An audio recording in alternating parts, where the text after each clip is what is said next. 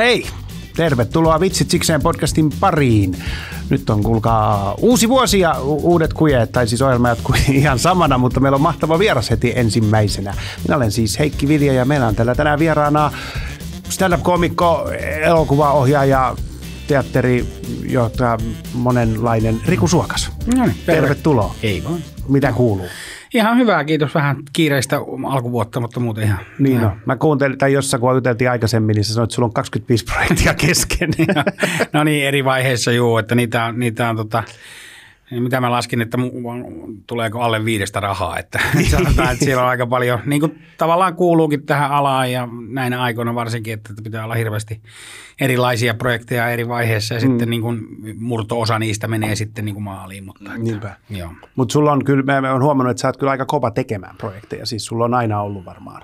Onko sä, koet sä, että sä oot jotenkin, Joo, varmaan. Varmaan ollut, ollut siis sillain, en tiedä niin, niin kuin, mistä se johtuu sitten. No, osittain se johtuu, johtuu ehkä siitä pienestä realismista, että tietää, tietää sen niin kuin läpimenoprosentin, mm. niin kuin varsinkin TV, tämmöisistä AV-alan alan projekteista, koska se rahoituksen saaminen on niin vaikeaa. Ja varsinkin tällä hetkellä nyt sitten niin kuin TV, TV-puolella niin on, on tosi vaikea, vaikea tilanne. Varmaan seuraavat vuoden pari. Niin, niin. johtuen tästä yleisestä markkinatilanteesta, mutta että, niin, siis kai siinä on myös semmoinen niin tekemisen nälkä, että haluaa mahdollisimman monta uutta kokemusta. Ja, ja, ja sitten mua aina, oikeastaan mä lähden vaan semmoisiin juttuihin, mitkä mua oikeasti kiinnostaa ja mua kiinnostaa nämä moni asia. niin, kun se aina monesti aina tuntuu, että osa stand-up-komikoista on semmoisia, jotka on ajautunut alalle vaan sen takia, että ne on vähän laiskoja ja ne ei jaksa tehdä kauheasti mm. mitään. Niin sitten on erikseen te, jotka teette koko ajan. Niin, kun mä, tiedän, kun mä ajattelen sen niin oikeastaan tätä nykyään, että mä oon siinä mielessä aika onnellisessa asemassa, että mulla on niin kuin, ehkä mä ajattelen tällä hetkellä itseäni niin kuin tarinan kertojana, jos pitäisi niin kuin yksi ammatti määritellä, että se tavallaan, että jos tulee ajatus jostain tarinasta, mikä mm-hmm. on se mikä tahansa, niin nyt on mahdollisuus niin kuin laajentaa sitä katsotokantaa tällä hetkellä sillä, että se voi olla elokuva, se voi mm. olla TV-sarja, se voi olla teatteriesitys, se voi olla stand-up-esitys. Niin kuin tavallaan, että on niin kuin monta kanavaa, missä toteuttaa ideoita. Että nyt siitä ei ole kyse enää, etteikö, että, että joo, kyllä mulla olisi ideoita johonkin muuhunkin välineeseen, niin. vaan nyt tavallaan on vaan kyse siitä, että minkälaisia ne ideat on, että on kokemusta monesta välineestä ja nyt on vielä mahdollisuus tällä hetkellä toteuttaa mm. niitä. Niin. Mm. Niin, tota, siinä se tulee myös semmoinen, että niinku, vähän tällainen, niinku, sä oot buffetissa, tiiäksä, että mä haluan vähän tota, ja ei kun toikin, oi, tuo, täällä oli totakin, ja vähän semmoinen olla. Ja, ja, toka kierros on virhe. Ja. Niin, juuri näin. Nyt menee jo liian pitkälle.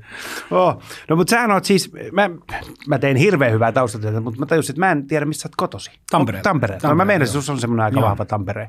Kyllä, kyllä. Tampereen vipa, mutta jostain mä luulen, että, sun, sulla, että sä oot niinku esiintyjyys kulkee sulla suvussa, että sun isovanhemmat oli jotain sirkustaiteilijoita. Joo, joo kyllä tota, mummo ja vaari oli, oli tota, Tivolissa kiersi. Vaari Okei. oli taikuri ja, ja tota, vatsasta puhuja ja jonglööri. Ja mummo oli sitten taikurin avustaja ja jon- jonglööri jonkun verran itsekin. Okei. Okay.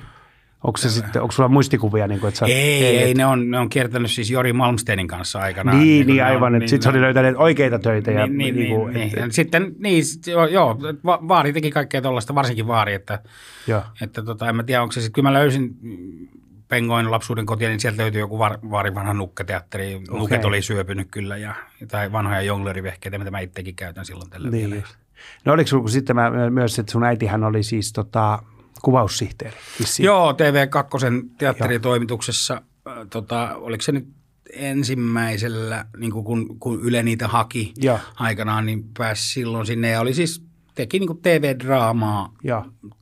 paljon ja sitä kautta mäkin sitten oliko nyt kolmenvuotiaana ensimmäisen kerran niin kuin kamera edessä niin kuin avustamassa, Joo. koska silloin siihen aikaan Ylellä oli se, että tarvitaan lapsi, että kellä on, Niin. niin kuin, että tuokaa. Joo, joo. Ja, ja sitä kautta sitten mä niin kuin, tavallaan olin koko sitten lapsuuteni aina, aina niin kuin TV, että mä, niin kuin TV ja tämmöinen elokuvamaailma on niin kuin, missä mä oon kasvanut. Kasvanut, Ja sitten niin. myöskin äitini oli äh, toisella isän kanssa ne erosi, niin sillä oli kaksi työtä, eli toinen, toisena työnä se oli sitten Tampereen yliopiston näyttelijä koulutusohjelman niin. Niin. teatterisihteeri, eli Niin tavallaan pyöritti sitä käytännön asioita siellä. Eli mä paljon oli sellaisia iltoja esimerkiksi, että ei ollut varaa lapsenvahtiin tai näin, niin mä olin sitten niin kuin myymässä lippuja näyttelijäopiskelijoiden esityksiin tai olin siellä niin kuin vaan hengaamassa, kattelemassa, kun noi näyttelijäopiskelijat ja. harjoittelee teatterimontussa ja sillä niin kuin teatteri ja TV ja tämmöinen on niin kuin,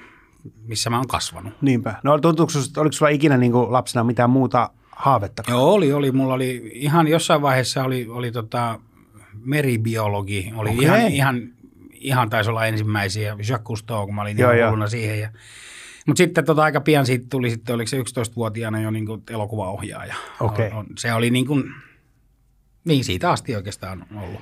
No, mutta se on hyvä, sä oot 11-vuotiaana sen, sä oot suurin piirtein tiennyt, mitä elokuva hän tekee. Mä muistan, että mulla on ollut joku, että elokuvaohjaaja ja sitten oikeastaan täysin ihan mitä hajuu, mitä hän tekee, mutta varmaan hän sitä kameraa liikuttaa. kyllä, kyllä, kyllä, kyllä. Vastaavaa. Okei, että se oli silleen, no kun, sitä kun katsoo, mäkin katsoin tuossa, no niin kuin, hetkinen, sä oot 71 syntynyt, mm. niin, niin 83 sä oot ollut jo siis TV-sarjassa näyttelijänä. Joo, joo. joo. Kuka uskoo haikaraa? Kyllä, se oli se mun lapsitähteysaika.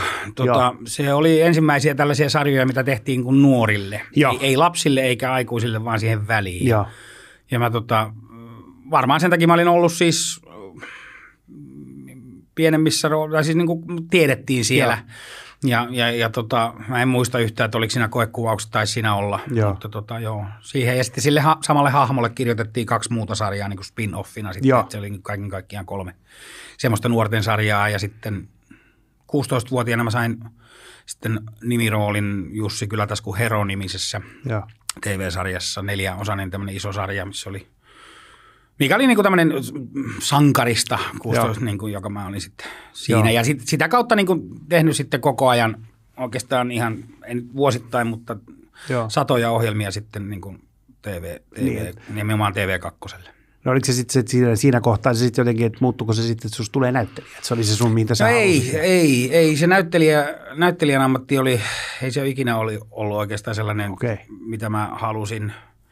Että se oli niin kuin mä hain, kun mä olin, pääsin, mä olin ilmastorolukiossa Tampereella.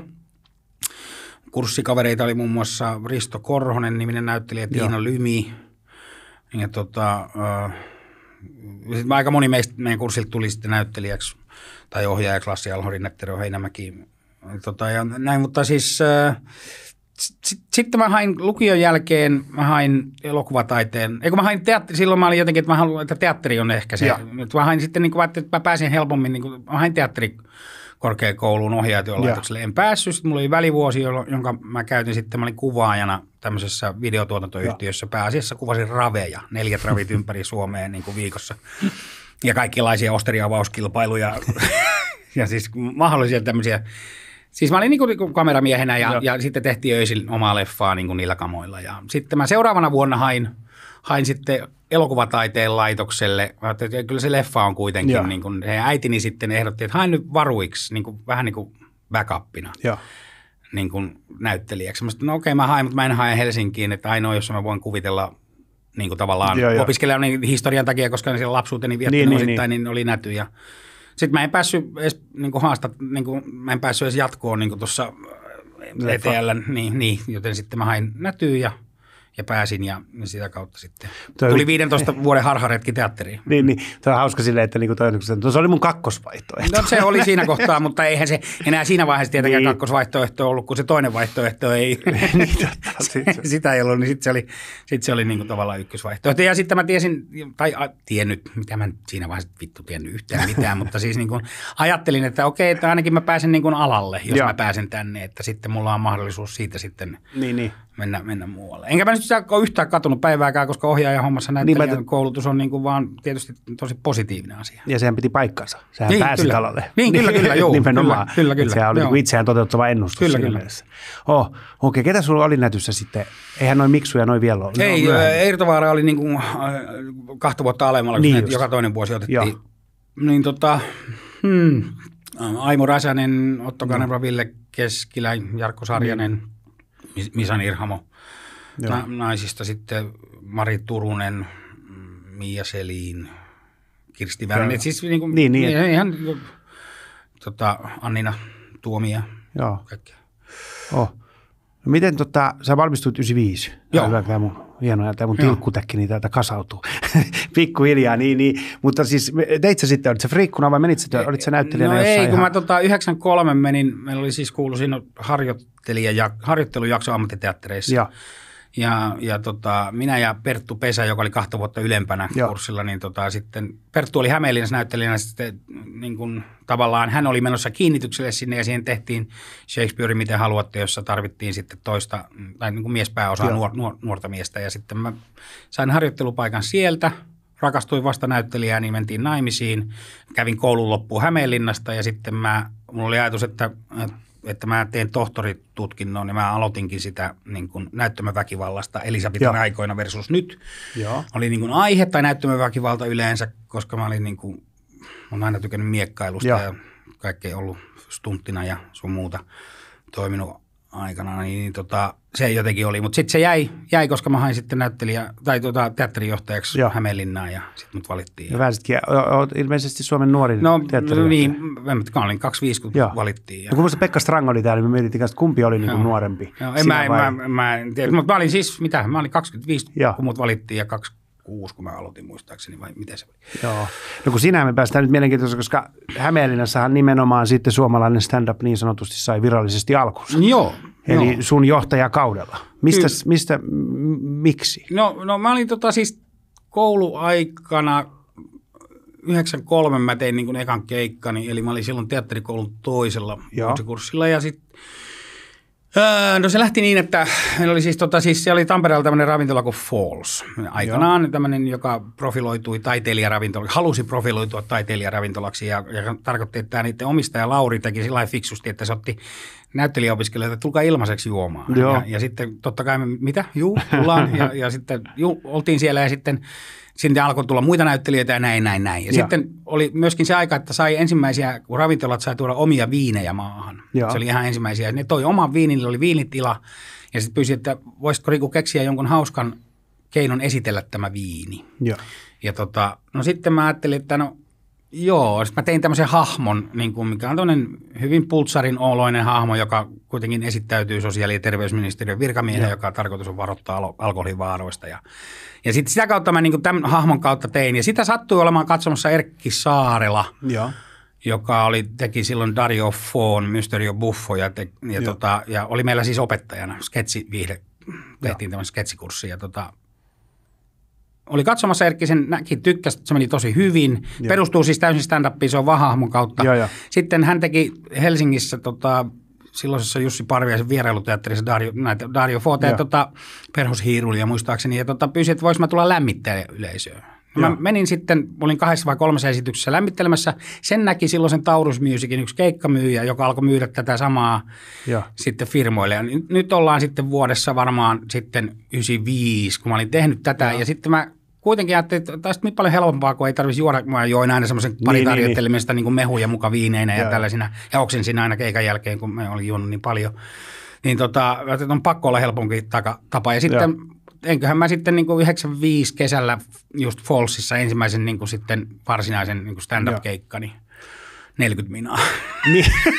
kaksi kertaa 20, josta ehkä viisi oli hyvää. Toi on- toi on joo. yleistä ollut Joo, toi, mitä no, mutta ei, ole tiennyt, ei ollut joo. mitään, kun ei, miten mä saan ihmisiä katsoa, että mä teen viiden minuutin keikan. No se on totta, ja jos ei ole ketään, ketä pyytää, niin kuin tuu säkin tekemään Niin, kun ei keikkaa, ollut niin ei ketään, joka, joo. mä en tu- tuntenut ketään, joka teki. No, mutta oliko oli kiinnostus stand-upiin? Joo, kuitenkin? Eddie Murphyn Raw-videolta, mitä olin jo katsonut niin VHS lukioaikana ja, ja, ja näin. Sitten mä kävin katsomassa tota Liukas Gägi, missä oli siis Toikka Saanila Joo. ja Parkkinen Tampereen teatterissa.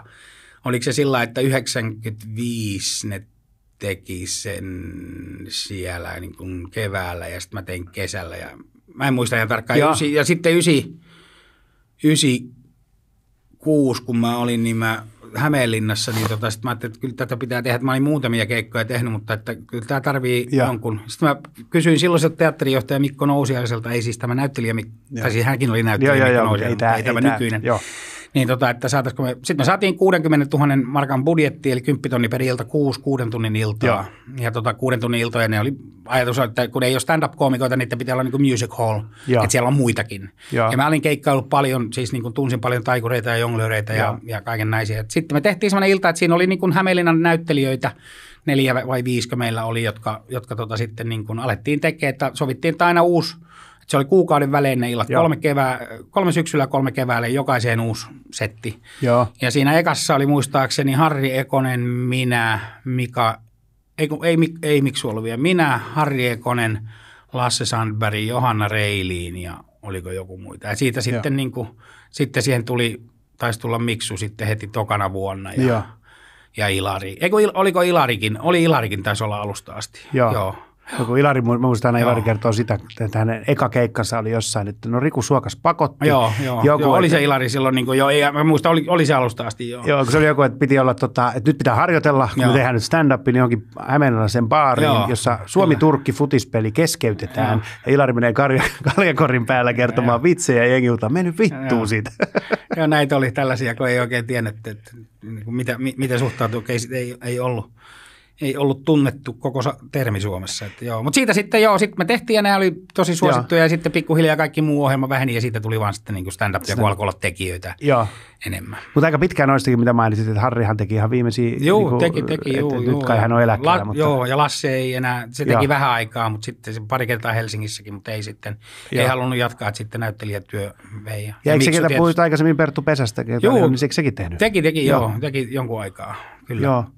No Kyllä se on. No miten se sitten, kun mä aina miettinyt tätä näin, miten tämä stand-up aina, pitäisi Stan Saanilan kanssa jutella kanssa, kun heillä oli se Joo, Viruksessa. joo, oli. se oli ennen, ennen Niin meitä. se oli niin kuin ennen, mutta se oli sitten kuitenkin, että sieltä tuli aika lailla Ruotsista esiintyjä Joo, aina. ilmeisesti mä en, mä en, en tiedä, en käynyt. No, no kun mä en ole varma, ja Joo. sitten aina yritetään tätä näin miettiä, Joo. ja sitten oli kuitenkin Joo. tämä Hämeenlinna kaikista paikoista Joo. jotenkin oudoin niin kuin mun mielestä Joo. suomalaiselle stand-upille, niin no mik, miksei Hämeenlinna, mutta niin, se vaatii laskettiin, että se on niin kuin keskellä kaikkea, että niin kuin tavallaan, että se on helposti Joo. Tampereelta ja Helsingistä, mutta eihän siellä ollut esiintyjiä alun, alun perin, että Joo. niin, ketään.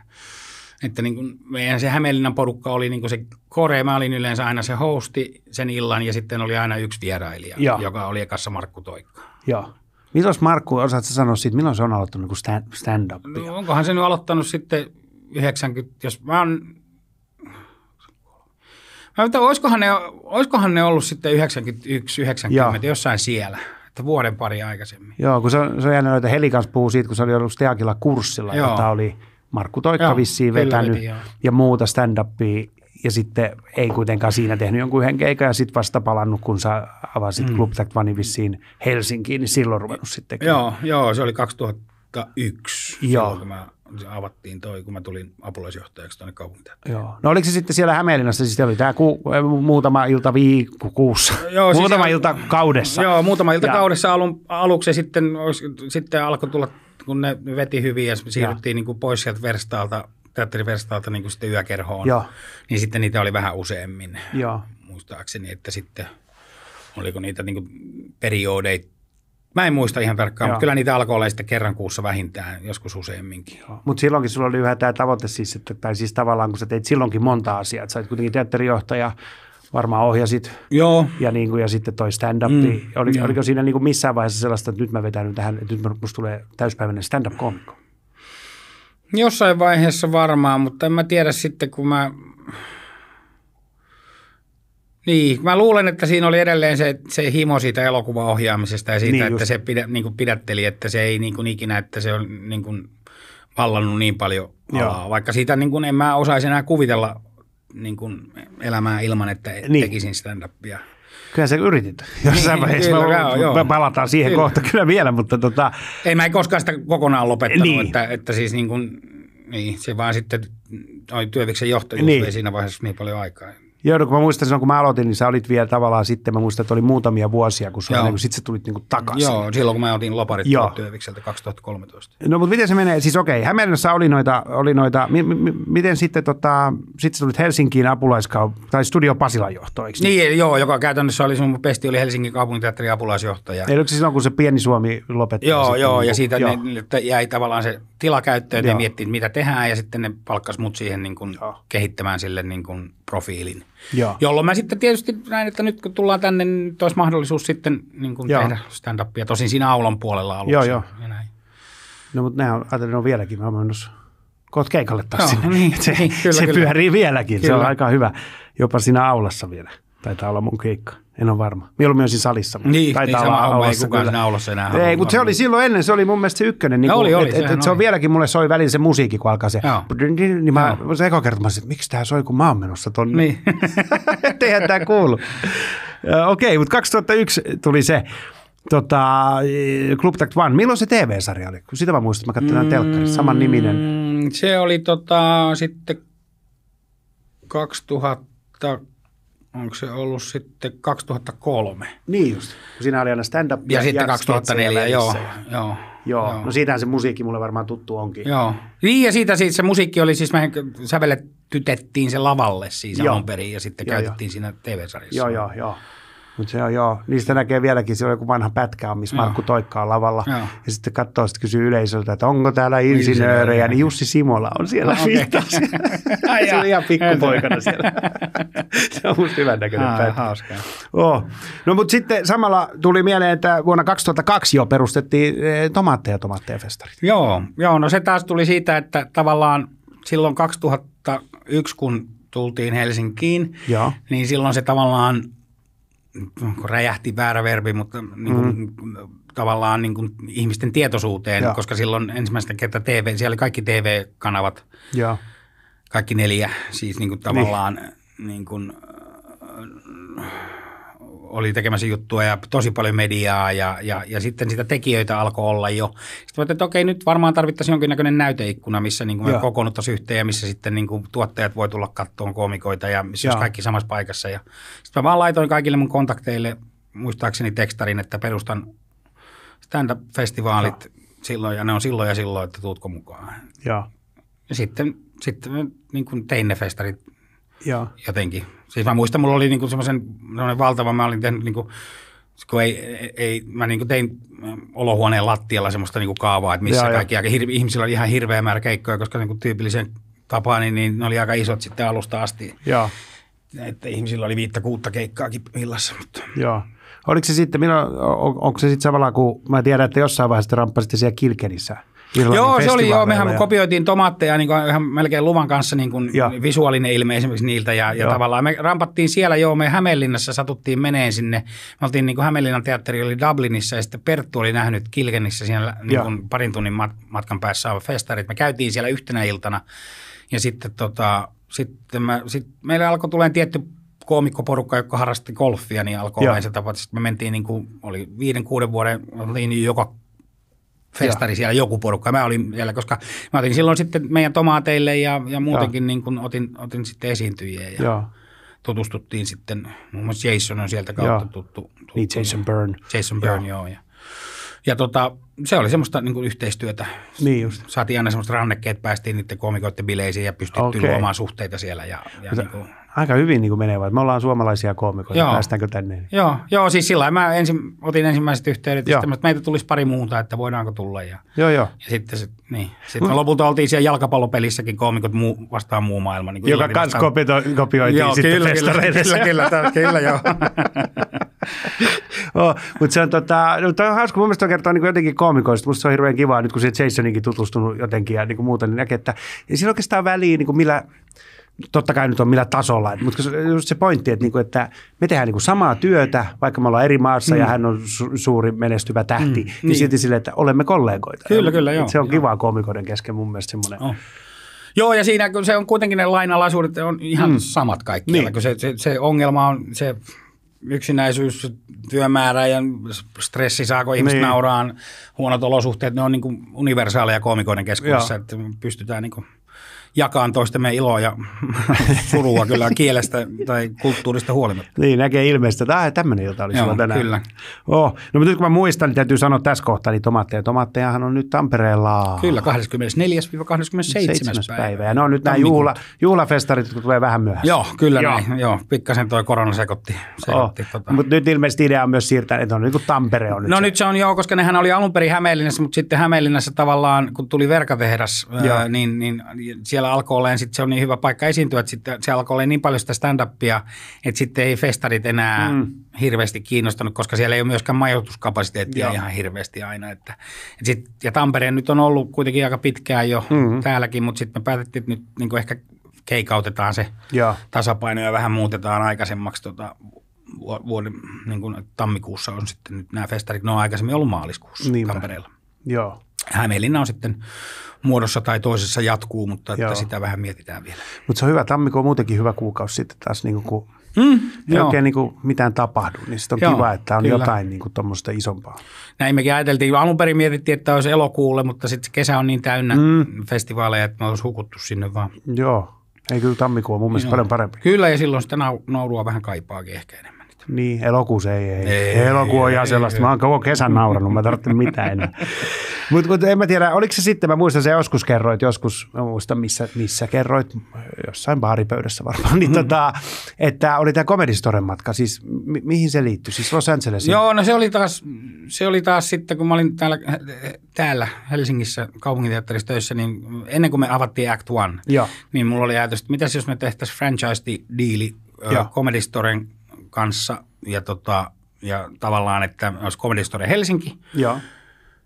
ja sitten me saataisiin sieltä ikään kuin heidän brändi ja sitten niin kuin tavallaan sieltä koomikoita olisi suora putki tulla tänne Joo. ja sitten ehkä jossain vaiheessa täältä sinne. Joo. Mm, Mutta tota, sit mä kävin siellä, mä kävin Mitchi Shore, joka on Comedy Storen perustaja ja sen kanssa Joo. neuvottelemassa Losissa. Sain itsekin esiintyä siellä silloin vuonna 2001 viikkoa 9.11 jälkeen tai alle viikko sen jälkeen. tota, niin ei ollut, oli viisi katsomassa Joo. muistaakseni siellä, mutta, tota, mutta joo, ei sit se, se kaatui sitten siihen, että oli, oli se tavallaan taloudelliset ehdot eivät Joo. täyttyneet, varsinkaan kun stand-upia ei tiedetty yhtään, miten se lähtee Suomessa. Niin, niin, niin. Joo. Siis sillä, että niin sitten me perustettiin, niin. kai mä sit keksin niin kuin oman nimen ja, Joo. ja näin. Kun joku sanoi mulle myös, että se on hauska, että kun- vertaa esimerkiksi Comedy Storea, missä minäkin olen kerran käynyt siis katsoa vaan, ja tietysti se on line-upit on tosi mm. paljon väkeä ja niin kuin kaikkea, mm. ja, ja jotenkin se, niin kuin, se Amerikan stand-up, tai se tavallaan, että siellä on aina se on se mikä opener ja sitten on, middle, ja sit on headliner, joka tekee tosi pitkän. Mm. Niin joku sanoi mulle, että meillä taas perustuu aina tähän, että meitä on kolme koomikkoa, on MC, mm. sitten on eka puolisko ja toka puolisko mm. se viimeinen, niin että se on jotenkin niin kuin englantilaisten juttu, jonka te olette sieltä niin No kuin, en mä oikein tiedä, onko se, onko se, mä luulen, että se ei ole vaan, että ei tavallaan jossain vaiheessa se on ehkä tämä perusdemokraattinen ajattelutapa, niin. että, että se, että niin kuin, niin, en mä tiedä mistä se on lähtenyt. Joo. Se vaan lähti, koska ei ollut ketään, joka voisi olla headlineri alussa. Niin, totta. Joo. Kaikki oli, se oli ihan sama kuka, koska kaikki, kaikilla oli se 20 minuuttia. niin, niin totta. Että, että sitten se, se vaan jäi tavaksi. Mutta mut se on hassu, kun muita maita monesti, niin että mäkin olen aloittanut tässä tällä, minkä te olette luonut tavallaan, mm. Mikä on ollut helvetin helppo, koska sitten siihen pääsi paljon helpommin mm. mukaan. Kun Niin, sitten taas aivan. nimenomaan, että pitäisi kiertää vuosia, että mä lähden nyt Riku Suokkaan openeriksi ja Niin. teen viisi minuuttia ja Kyllä, jatkan kyllä. sitä kuusi vuotta ja sitten ehkä saan spotin Niin. tekee vähän pidemmän jossain. No ehkä se ei siinä ollut mitään syvempää ajatusta Joo. Takana muuta kuin se, että oli vähän tekijöitä ja sitten tietysti tajus sen, että, että, että, että kehittyy ainoastaan tekemällä, joten. Joo. niitä pitää olla niitä. Joo, joo. Totta kai sitä sitten mietti sillä tavalla, että niin kuin yrittää sen niin kuin varmimmat laittaa niin kuin alkuun ja loppuun, niin kuin Joo, joo. tavallaan niin kuin, että viimeinen ja, ja avaaja on. Niin kuin. Joo. Mutta tota, joo, mutta ei siinä sen, sen syvällisempää sitten ollut. Joo, ei, se on vaan jäänyt sellaiseksi. Joo. Ja muutenkin, niin kuin en mä tiedä, siis jotain asioita vaan piti päättää jossain kohtaa. Niinpä. Sitten huomannut, että niistä on tullut tapa, niin kuin palkkaus esimerkiksi, Joo. joka on niin kuin tietysti Suomessa niin kuin helvetin paljon kovempi niin kuin, On. kuin missään muualla. Ja sekin perustuu ainoastaan siis siihen, että kun me silloin HKTssä ensimmäisen kerran mietittiin palkkaa, mutta kysyttiin, että mä pääsin, no paljon näille sitten maksetaan, kun ei ne ole näyttelijöitä. Mutta no mun mielestä niin kuin osa niistä, tai siis siinä vaiheessa niin kuin suurin osa oli. Niin. Niin sitten me lähdettiin, no okei, no lähdetään teatterin työehtosopimusta katsoa, että paljonko on näyttelijän A-roolikorvaus. No se oli, muista, 160 markkaa tai jotain. Joo. No sitten ajatellaan, että me ostetaan kuitenkin valmis tuotanto, jossa on niin käsikirjoitus ja ohjaus. Joo. Niin, tota, niin, niin sitten, että, että, se on kuitenkin, että se vastaa tavallaan kahdesta, kolme, että Mm. teille maksaa tämä ilta, niin sitten mä, no 250 Joo. vai 200, mä en muista kummasta joo. se alkoi, 200 taisi alkaa. Joo. Ja tota, sitten sovittiin, että se on sen verta per no. Joo. Ja sitten se niin kuin tavallaan on siitä, eikä sekään ollut mitenkään suunnit, niin kuin, mutta siis ajat, ajatus oli myös se, että niin kuin tavallaan, että, okei, että jos, jos tässä jossain vaiheessa niin kuin te, tekisi tästä työ, niin kyllä se pitää mm. olla, niin ei se voi olla kymppejä. No ei. Mitä se niin, kaikkialla niin, muualla niin, on. Niin, joo, joo. Se, niin sehän tuntuu, että se on niin kuin kaikilla muualla, se on, niin kuin, että se on ihan pikkurahaa, kunnes sitten Ja yhtäkkiä tässäkin on, se niin tosi- Tessi suojeltava. Niin, no, tää on hyvä. Työehtosopimus on niin määrittänyt koomikkoalan palkat Kiitos niin siitä. vuosikymmeniksi. Ei mitään se on. Ei, ei, ei, ei. Jos olisin tiennyt, että tämä on se lopputulos, niin olisin vielä tietysti koittanut, Niin. niin. että se on joo, 400. Se on, mutta tota, niin tällä hetkellä niin. Oh, mutta sittenkin on puhetta nyt, kun ne ei noussut 20 Niin, no vuoteen. ei, tuntuu, niin. että inflaatio on kyllä vähän tässä Kyllä, vaikuttanut kyllä, näihin kyllä. palkkoihin. Että, ja on ne nyt noussutkin sitten vähän, mutta outoa, että me mennään sitä markoissa vieläkin. Niin, se, on, niin. Se on se hämmentävä puoli. Oh, Ei kun kyllä nyt oli jo euroja siis muuten, anteeksi, Niin mä just. puhuin väärin, euroista. Joo. puhuttiin Jo, Joo, joo, joo. Sata- Joo, 160 euroa, joo. niin, totta, 200 2001, joo. Joo, totta, joo. silloin oltiin Ei, euroaikana. No, no mutta miten, tota, miten sitten sä kuitenkin päätit te- teatterin TTT-johdossa, sä olit mm, seitsemän vuotta melkein. Öö, mitäs mä olin? siis? Mä oon jostain kirjoittanut 2000, 2006. 2005 mä menin Niin. niin. sinne apulaisjohtajaksi ja sitten lähin 2013. Joo. Onhan sitä enemmän. Ei kun kai seitsemän, kahdeksan vuotta. Niin, jotain Yhdeksän semmoista. vuotta mä olin kaiken kaikkiaan itse asiassa työviksellä taisin olla. Niin kuin, Joo, onko sen peruja siis TTT-klubin stand-upilla? Joo, joo, Joo. joo. joo, ja se on taas sitten otettu suoraan malli Comedy Store Lontoosta, niin kuin se Joo. lavan ja muu, että sen mä otin niin kuin ihan suoraan sieltä, että, että, että tehdään. Se oli joo, koska meille tuli siitä lähti semmoinen tanssiravintola ja meillä ei ollut oikeastaan semmoista niin kuin paikkaa, että meidän stand-up-klubit oli ollut aulassa tuolla. Lennosalmelaisen aulassa tai tällä ja sitten Joo. niin kuin ei ollut sellaista, niin sitten sitten mä tiesin, että teatterin tarvii kuitenkin saada niin kuin myös tuloja muualta, kun meillä oli Mm. oma ravintolayhtiö työviksellä, niin, niin tota, tavallaan Joo. on oma ravintolayhtiö ja on esiintyjiä omasta takaa, niin se oli sillä niin kuin, sitten Joo. tehtiin siitä sellainen niin kuin musiikin ja pienen Joo. teatterin, draaman ja stand-upin ja tämmöisen. Se on kyllä hyvä paikka vieläkin. Se on kyllä. Se joo. on, niin kuin, Oh. se on nimenomaan se lava ja se katsomon siellä, niin siinä on kyllä semmoinen, No, että se on niin kuin tehty, niin kuin oikeastaan voi sanoa, että se on tehty suoraan stand-upin ehdolla Joo. se paikka. no sen takia se varmaan toimii niin, hyvin, niin, että ei kyllä, tarvitse kyllä. olla jossain studiopasilan aulassa Kyllä, kyllä. niin sanotusti. Vaikka ei mitään, kaikki kunnia sillekin. Täytyy sanoa. No mutta kyllä, mitä sitten, te- se on, ne on ollut sun viimeinen, sit sä lähdit sieltä TTTltä. Et halunnut Joo. enää, teatteri oli ohi. Joo, me tehtiin 2013, oltiin pitkään yritetty saada tekeille vuonna 85 musikaalia, Joo. mikä me Heikin Syrjän kanssa tehtiin Työvikselle, niin elokuvaa ja sitten 2013 kuvattiin, Koivusalo ja minä ohjattiin, Koivusalo pääasiassa. Joo. Ja tota, siitä niin kuin tavallaan, mä olin silloin 44 silloin kesällä ja sitten mä olin Lontoossa työmatkalla siis etsimässä teatterin juttuja. Niin kuin mä kävin siis vuosittain pari kertaa Lontoossa, kerran New Yorkissa ainakin Joo. niin kuin, ja sitten muuallakin niin kuin etsimässä ison musikaaleja, näytelmiä, tutust kaikki. Niin sitten siellä mä päätin, että tuli vaan semmoinen olo, että mä, niin kuin, Joo. mä haluan tehdä, en, en mahdollistaa. Joo. Ja tota, sitten mä, kun mulla oli siinä vaiheessa, niin kun oli taiteellisen johtajan, toimitusjohtajan pestit ja ravintolayhtiön johtajan pestit, kaikki oli, oli, oli vähän liikaa tavallaan kuor, kuormitustakin ja sitten kun halusi tehdä, niin sitten mä siitä sitten irtisanouduin ja hain sitten tota muutamaa vuotta myöhemmin Joo. sitten Englannissa, Englantiin kouluun elokuvaohjaajaksi ja näin. Mutta että 2013 oli se käännekohta. Joo. Sitten mä tein muutaman vuoden niin kuin pelkkää stand-upia. Niin, joo sen mä muistin silloin, mä Joo. suun tutustunut, Joo. kun oli jossain. Mä muistan aina sen, kun se on niin hauska, kun joku on niin kuin ollut pois pitkään, Niin. no pitkä ja pitkä, Niin. kyllä sä olit tehnyt silleen. Niin. Mutta näkin, niin kuin, että ensimmäisenä mä muistan, ja kuulostaako tämä nyt vähän jo pahaa, mä muistan, että mä olin se, että no eihän nyt ihan vakuuta tämä meidän Niin. kummisetä. Ja sitten Niin. kuluu pari viikkoa, mä se, aa nyt mä tajun. Joo, Tiedätkö, että niin, kestää niin, saada niin. se Joo, kyllä, niin kuin kyllä. ensimmäinen se, se rytmi päälle. Ja sitten kun Joo, joo. näkee, että mitä tekee, kun ihminen pystyy keskittymään Mm. siihen taas kunnolla. Kyllä, kyllä. niin Se on ihan Sehän mua harmittaa tavallaan, että ei ole niin tarpeeksi montaa elämää, että voisi kaikkea tehdä, mutta sitten Mm. tässä on tullut tämmöinen yleismies jantunen. Mutta toisaalta mä pidän siitä, siitä niin kuin tavallaan, että, että kyllähän nyt ajattelee katsoa jotain Leikolaa, joka Joo. ei, ei ole niin kuin, tota, tehnyt mitään muuta kuin. Joo. Niin, niin tota, mä en tiedä, Mä en tiedä, rakastaako mä mitään asiaa niin paljon, että mä voisin tehdä vain sitä Joo, joo. yhtä. Että mulla on, ehkä, se, ehkä se, mitä mä rakastan, on se tarinoiden kertominen, just mitä mä alussa Niin. sanoinkin, että tavallaan nyt ne välineet on vaan eri. Joo, joo. Eri, mutta tota, joo. mutta mut sitten aina mä oon miettinyt myös sitä, että kun tietää paljon koomikoita, jo- jotkuthan on sellaisia, että se on vaan, ainoa mistä puhutaan on sitä. Ai, Kaikki on vaan mm. niin sitä. Ismo on mun mielestä hyvä esimerkki siitä että tavallaan, että tai mä sitä niin hyvin tunne, että ei niin puhuska, mutta, mutta se on aina niin komikkaa. Kyllä, kyllä. Jotenkin se, että niin, että jokaisen hetken, jos mä käyttäisin vaan miettiäkseni tätä, niin mä voisin joskus olla yhtä. Mutta niin, Mm, mm, niin, niin, niin. se, että en mä pysty. Mm. Ja haluatko, niin haluatko olla globaali spesialisti vai niin kuin lokaali generalisti? Nimenomaan, Mä- nimenomaan. Mä olen se lokaali generalisti varmaan tässä, mutta, että, mutta kyllä mä tässä, niin kuin, tässä niin kuin mietin just, että, että, että, tavallaan niitä valintoja pitää alkaa varmaan kohta tekee, tehdä, niin kuin, että mihin, mihin niin kuin tavallaan, tavallaan niin kuin, tavallaan mä vaan, niin, mielenkiintoisia asioita miettiä, että on, koska se oikeasti se valinta, että tai tarviiko sitä tehdä. Niin kuin, että mihin mä oikeasti keskityn vaan yhteen asiaan. Niin kuin mä sanoin, että mä en usko, että mä niin kuin pystyn tekemään sitä tai Niin. haluankaan tehdä sitä, koska sit myöskin se, että ei ole sit päivät ei ole ihan samanlaisia. Mm. Että siinä on niin kuin myös se, se niin kuin, että, että niin kuin eri projektit vaatii erilaisia asioita ja, Joo. ja, ja, ja, ja sitten niin kuin haastaa eri lailla. Joo. Oletko missään vaiheessa miettinyt, että stand-up jäisi?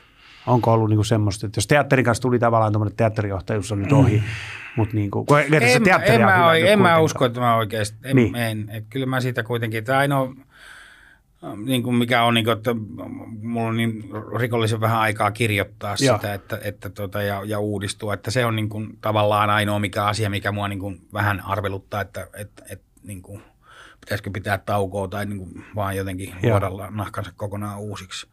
Että ehkä se on niin kuin se, että mun pitää vaan päättää tehdä soolo Niin, ja, ja sitten sitä, sitä kohti, mutta että nyt ei ole, on ollut niin paljon kaikkea, mm. Kaikkea muuta sitten tuossa lautasella, niin, niin, niin tota ei ole, ei ole niin kuin tavallaan ehtinyt.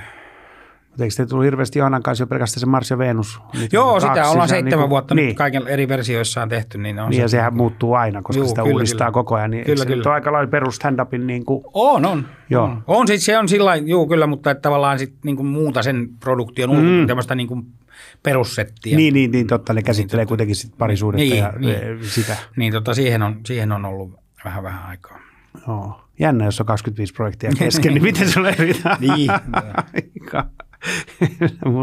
Okei, no miten siis, niin tosiaan hait ja pääsit Lontooseen e- elokuvaohjaajaksi. Joo. Sä oot niinku sieltä valmistunut elokuvaohjaaja, eikö Kyllä, näin? joo, kyllä. Master of Arts in Film Directing. Joo, sieltä mm, tota, Met Film School, joka on tämmöisen university, tai West London University vai University of West Londonin niin kuin alainen. Joo, Ja sijoittuu tämmöisen Ealingin studioiden sisään se koulu, jossa sitten niin kuin kuvataan ja on kuvattu paljon perinteikä studioja siellä. Kuvattiin meidänkin aikana Downton Abbeya ja mitä kaikkea siellä tehtiin. Joo. Mutta tota, joo, se oli sitten semmoinen, se oli vuoden, vuoden koulu.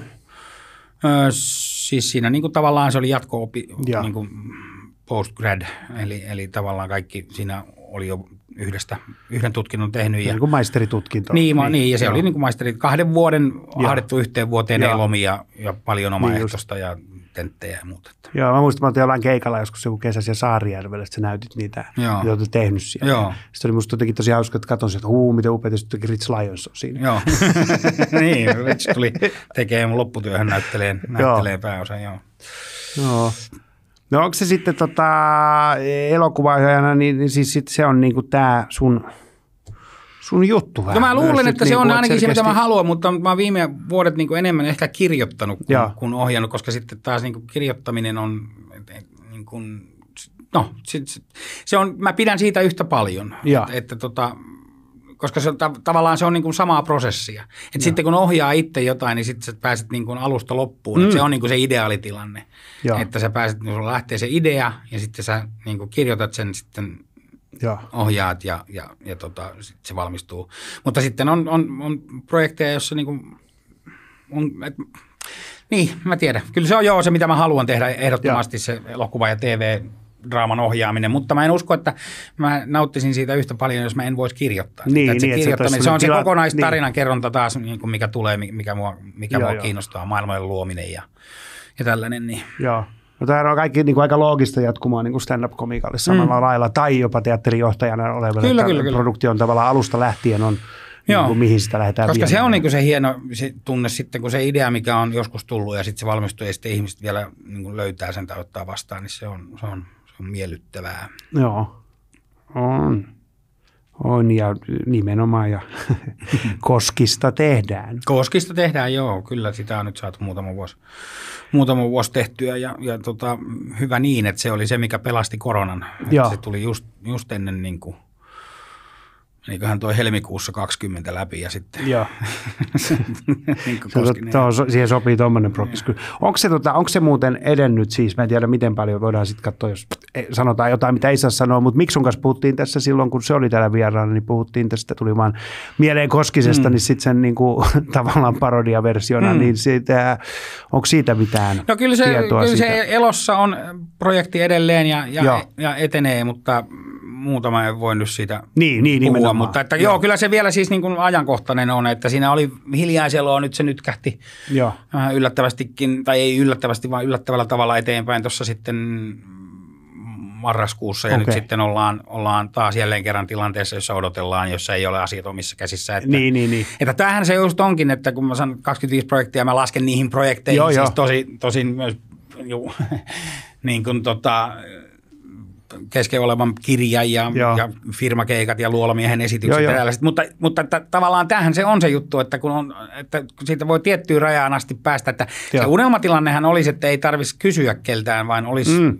elelisi sellaisessa tilanteessa ja maailmassa, että jos on ideaa, ja, niin sen kun vaan toteutetaan Joo. se. Että, mutta tämä on niin kuin tällä pienellä kielialueella, näillä budjeteilla, tällä, Niin. tällä, tässä, niin se on tosi vaikeaa. Sen takia niin kuin luojan kiitos tähän on tottunut, Joo. tähän epävarmuuteen. Joo. Mikään ei ole varmaa niin kauan, kunnes Joo. se on varmaa. No, mutta on hyvä. Siinä mielessä näyttelijän koulutus ohjaa jo siihenkin. Tiedätkö tavallaan, että mä oon aina miettinyt niin kaikkea tätä, ei edes noin paljon projekteja sun muut, mutta kun mietit meidänkin kollegoita, jotka on alun perin luokaopettajia tai tai niin kuin patronen rajavartioita, mm. varkituisissa virassa olevia ihmisiä, jotka mm. tavallaan on tiennyt, mitä tapahtuu sun muut, ja sitten ne heitetään tähän freelancer mm. ja siihen, että ei ole syksyksi mitään. Tai Joo. vielä tässä tammikuun kohdalla, ei ole kevääksi mitään, Joo. niin kuin usein on. Niin, kyllä, kyllä. niin on se kyllä. Joo, se on, se on, se on rankkaa ja, ja, ja sillä tavallaan, niin kuin, tavallaan niin kuin mä sen niin kuin on tietäen kuinka pitkiä jänteet on, niin kuin eri Joo. niin tekojänteet voi olla vuosikausia. Joo, 85 leffaa viisi vuotta Niin. tehtiin ennen kuin saatiin tehtyä se. joo, joo.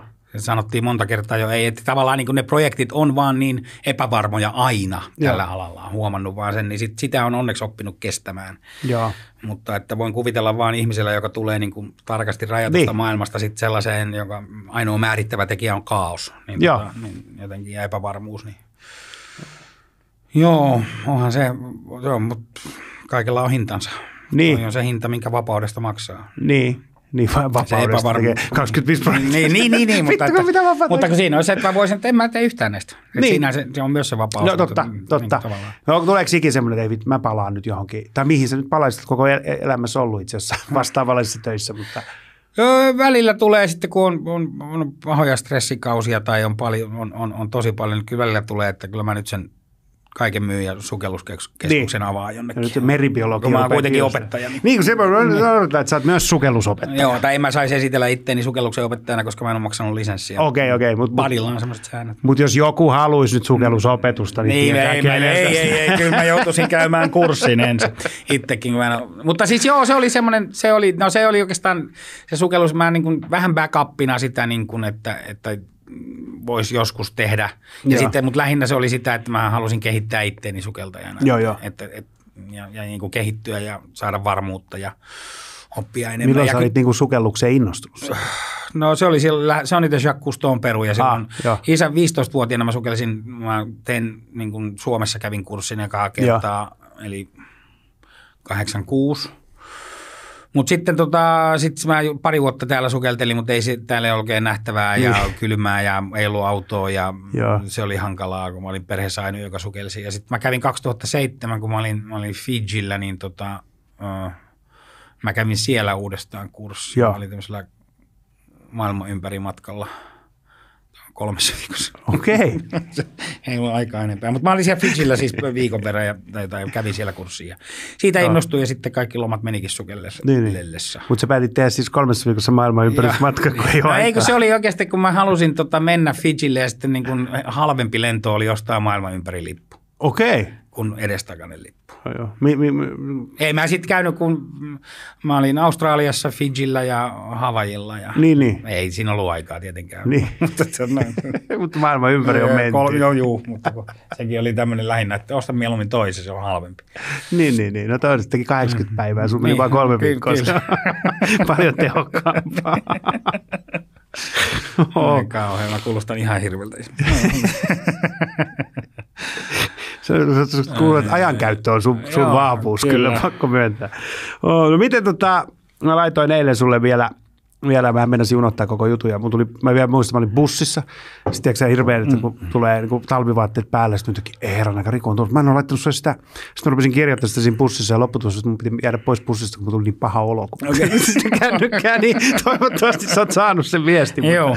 Niin, niin oliko sulla jotain semmoista, niin kuin, mä aina kysyn sitä komediamuistoa, mikä olisi jotenkin jäänyt niin kuin merkittävällä tavalla sun mieleen. Se voi olla joku sun oma, mitä sä oot itse ollut tekemässä tai mitä sä oot just läpsänä nähnyt. Yllättävän monelle se on Eddie Murphy Raw. Mm.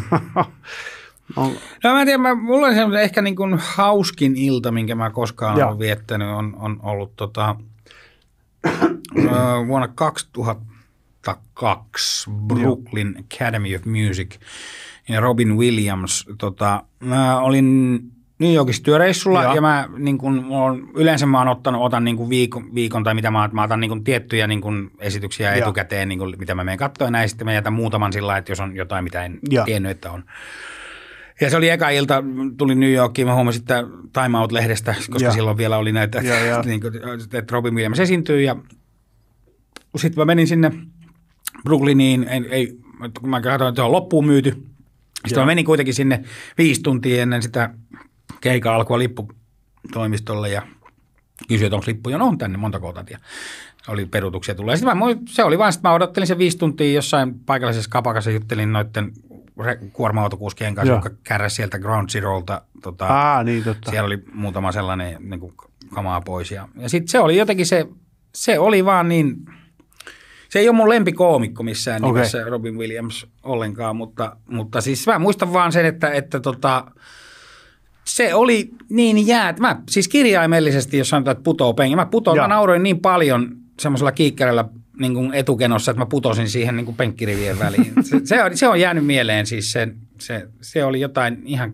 käsittämätöntä Joo. se, se niin kuin tykitys. Se on, niin kuin, se on hauskin elämäni keikka, minkä mä oon Okei. nähnyt. Et se oli kyllä, se oli huikea.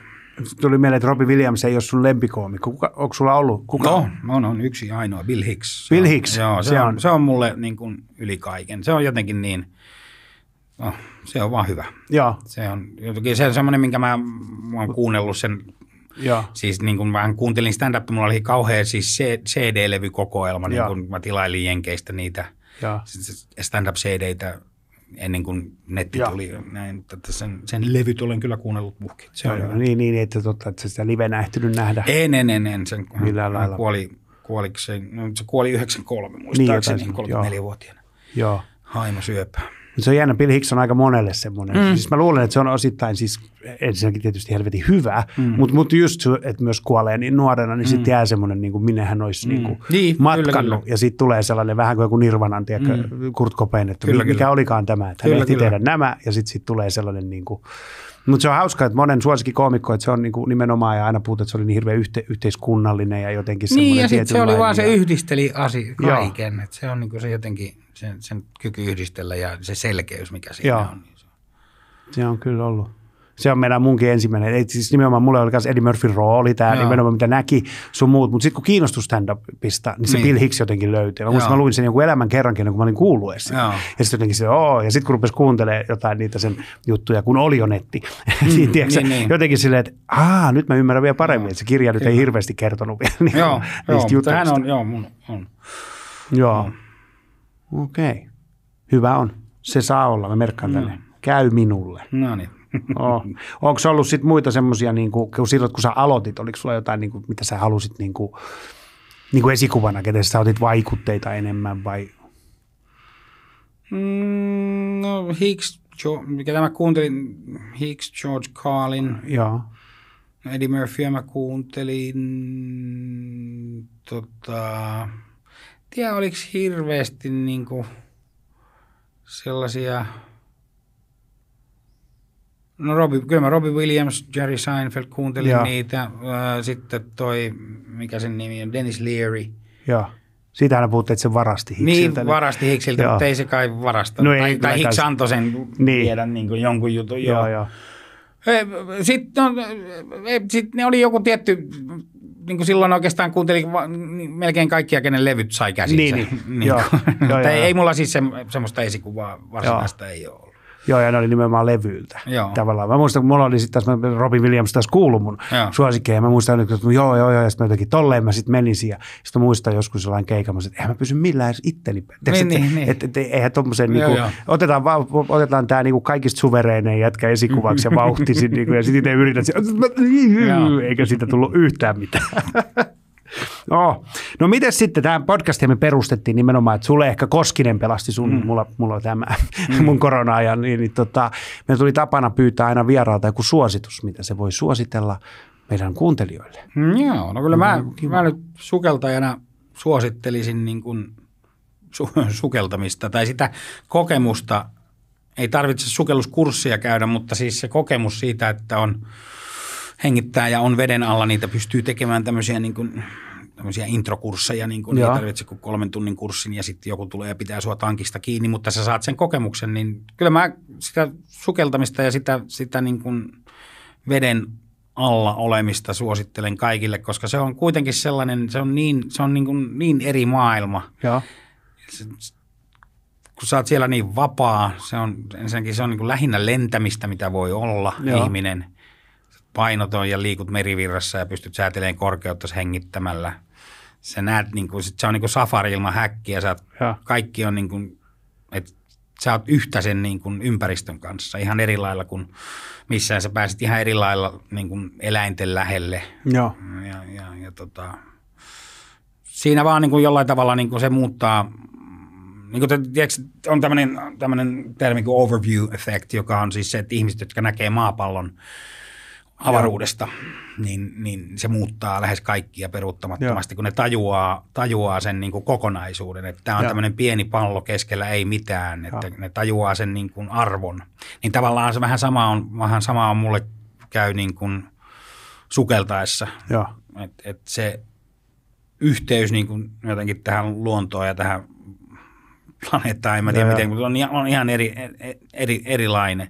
Ja sitten se, että se on rauhoittumisen aikaa. Joo. Se on, se on niin kuin sen, se sukeltaminen, koska sä et, et puhu, oot vaan ja koet asioita ja niin kuin, näin. Sen suosittelen kaikille sitä. Se on kyllä niin, se niin kuin muuttaa jotain.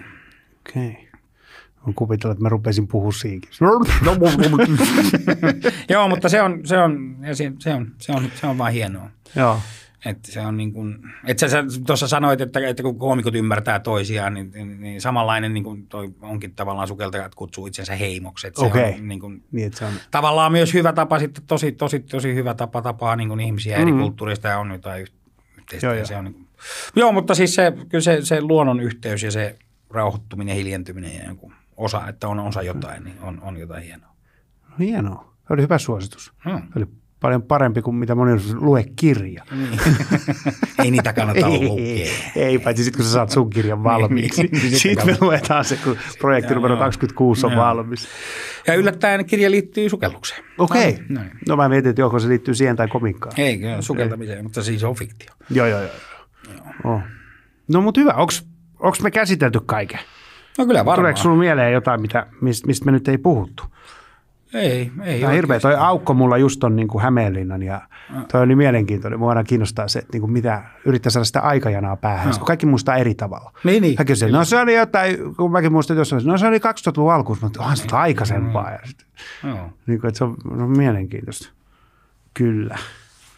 Oh, no mut hyvä hei, kiitos kun tulit vieraaksi. Kiitoksia, oli mukava olla. ja sulta löytää tomaatteja tomaatteja.com, sieltä löytyy, Mm, sieltä löytyy. Tampereen tomaatit sun muut ja, ja, ja sun keikat löytää sitten. Ei varmaan ei mistä. mistään. Ei, mä, se on niin ei, vähän eikä mua yllätys. somestakaan. Insta, Ei, ei löydy mistään. Kyllä mä oon Instassa, mutta en mä siellä ole. Oh, onko se, ihan, se on ihan tietoinen valinta? No se on tietoinen valinta ja sitten jostain pitää olla, että ei vaan niin kuin, mm. ai, se on oikeastaan aika valinta, kun tiedän, että siihen voi kuulemma jäädä vähän koukkuun ja siihen menee aikaa. No niin en siinä uskalla, uskalla tota ottaa. Eikä siis, ja sitten mulla on vähän tämä, tää, että ei mun asioista kukaan ole kiinnostunut. Miksi mä laittaisin niin, niin. tänne No mä, mä, mä olen vähän samaa mieltä, tai niin, siis niin, niin, että, että sun niin, on oma niin, mieli, että, niin, mikä, niin, sitten mä pistän sinne keikkamainoksia. Mä niin. sanoin, no tämähän on hyvää sisältöä, niin, että niin. tule katsomaan keikkaa, niin silloin, että täällä mä varmaan saan paljon uusia katsojia, ja, niin kuin ikään kuin niitä kiinnostaisi. Niin. Tätä mä, niin kuin, se on, ei se ole mikään periaatteellinen, se on vaan jäänyt. Joo, joo, joo.